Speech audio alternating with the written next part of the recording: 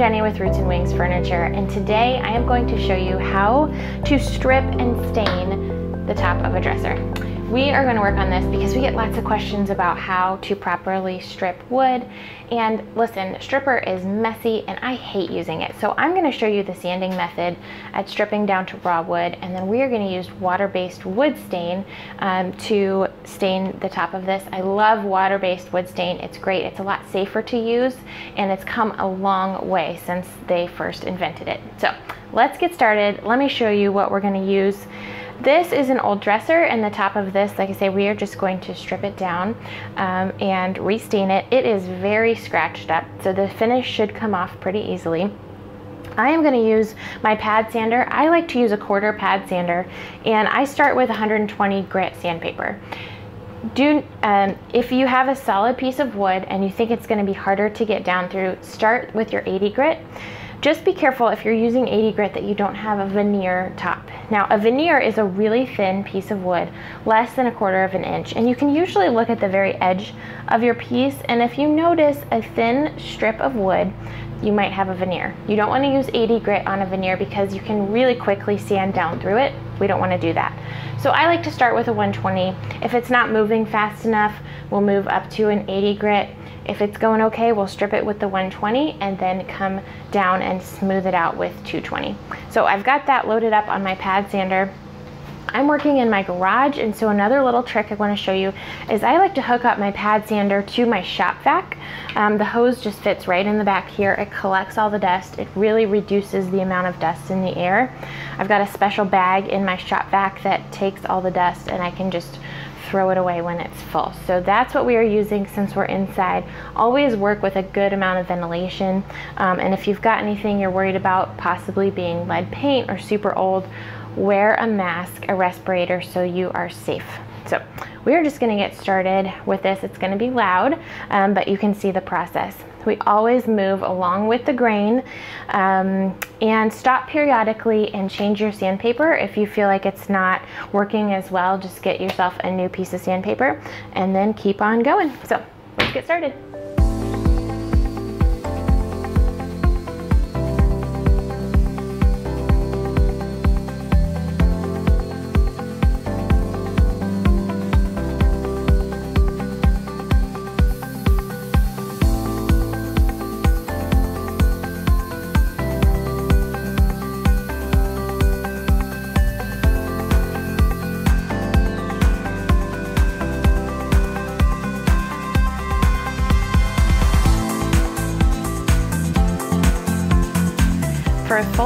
List of everything you will need to create this awesome finish, check out the description below this video.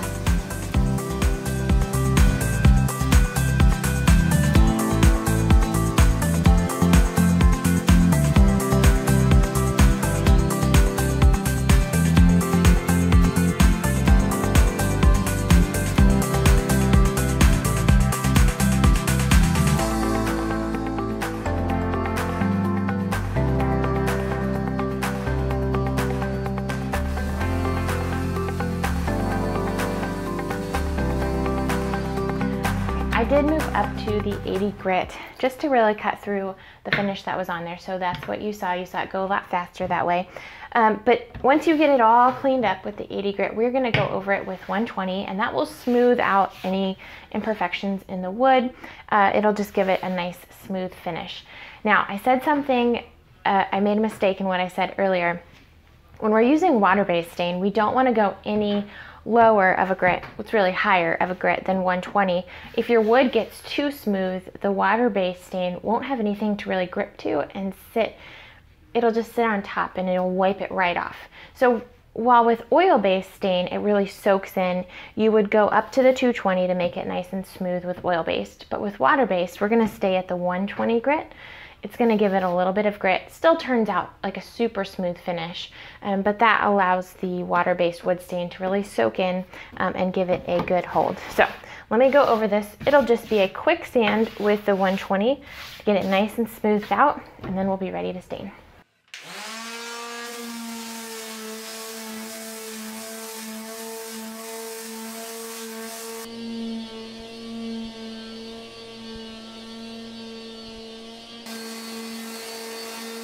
Okay, now that we've got this piece sanded, we're just gonna dust it off. All I'm gonna use for dusting is a damp paper towel. Now this is gonna help us in two ways. Not only is it gonna clean it off and get any dust off of the piece, it's also going to help even out our water-based stain. So we're gonna just kind of give this an even overall wipe down and that little tiny bit of water is a little trick to getting your stain settle in more evenly.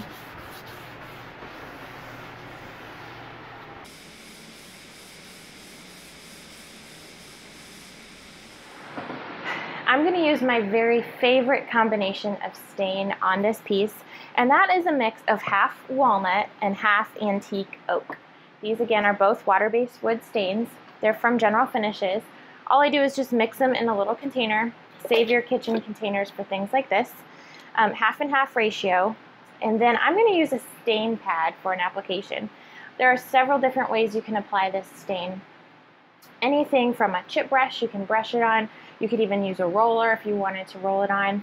A rag with a water-based stain doesn't work super well because um, it doesn't get enough on there. We need to make sure we're getting enough product on there to really even out our finish. So stain pad has been my new favorite tool. Um, and then always wear gloves. Let's get this mixed up.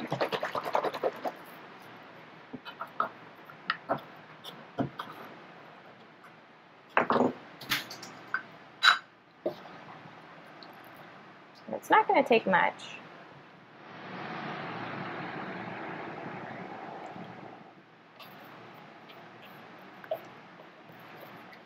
Now the water-based stain is what is called a semi-gel stain.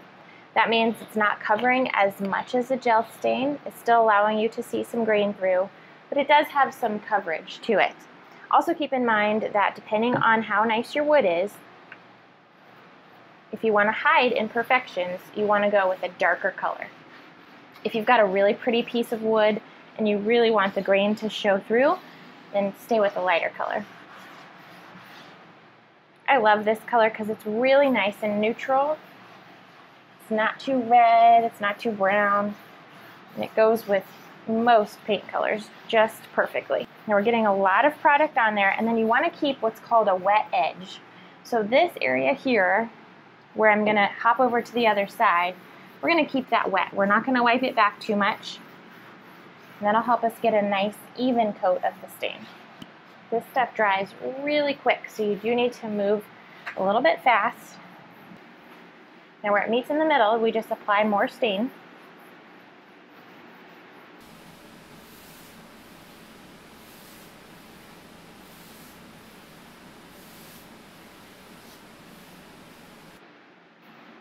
There we go.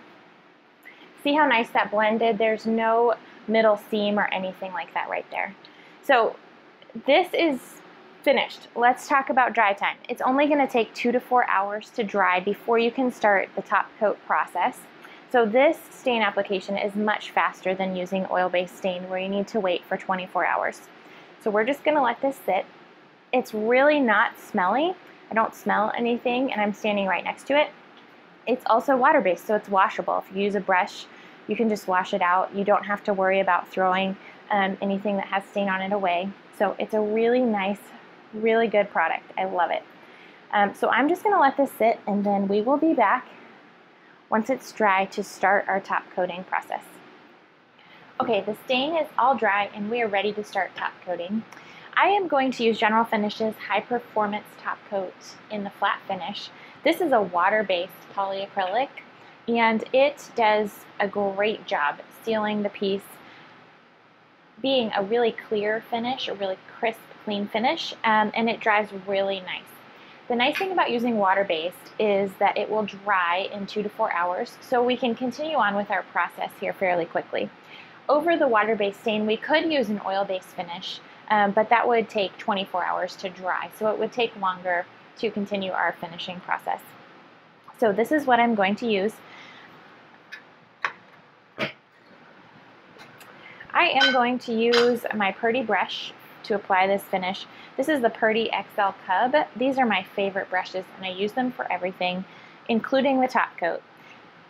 They have really nice bristles that don't leave a lot of brush strokes, so it levels out and finishes really nice. Do be sure that you are using a fairly new brush, not a brush that has a lot of paint. Um, sometimes they get paint down in the bottom and that can end up in your final finish. So do be aware of that, but that is what I'm going to use. The top coat in the can has a milky, almost a blue finish or look to it. Just stir it really well. Always stir, don't shake your top coat. Just give it a nice stir and then we will apply it.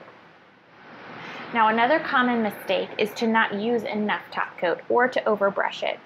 So we are going to use a lot of top coat and you saw there I just put my brush in there and almost let it drip onto the surface. That's how much you want to use. We spread it out and get a nice even coat over the whole thing. You can kind of go over it maybe once and then you let it self-level and do its job and it will give you a really nice finish. That's one of the most common mistakes with this product is just not using enough and overbrushing. And when we overbrush, we get streaks and marks that nobody likes.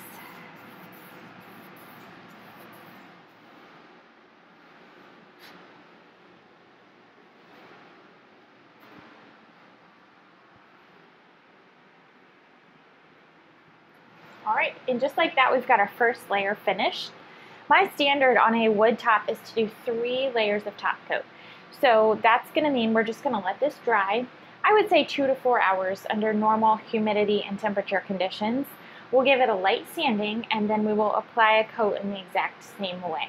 We'll do that three times for three total coats over our stain and then we will have a nice sealed durable top. So I'm gonna let this dry and I will be back in a little bit to show you how to sand it between coats. Okay, the first layer of top coat is dry, so we are ready to give a little bit of sanding in between coats here. I'm going to use 400 grit sandpaper. That is the sandpaper I always use, and it gives a really nice finish. There is some roughness to this now, so we sanded it down smooth. We've added our water-based top coat, and the water-based top coat brings up the grain a little bit, so it's pretty rough. So the 400 is going to knock down the grain again and make it really nice and smooth to the touch. Do be careful, since we have water-based stain on here, the water-based stain doesn't penetrate as deeply. So as I'm sanding, just be really gentle with it. You can pretty quickly and easily sand down to raw wood again, which is obviously not what we want to do. So I'm going to go over this again, like say really, really gently, 400 grit just by hand.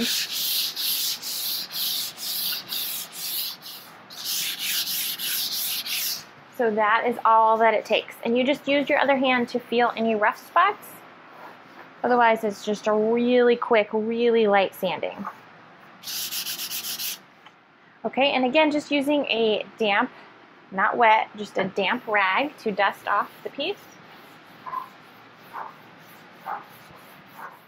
And then we will apply the next layer of top coat in exactly the same way we did the first. I do wash my brush between top coat. I do not keep the, uh, the brush wet, even if I'm coming right back to it. I wash the brush. I use a clean, dry brush every time.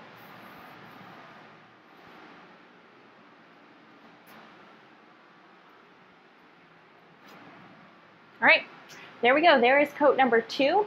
Again, just let it dry, give it a couple hours. Then you would come back, and sand again, just as we did, and do the final coat of top coat.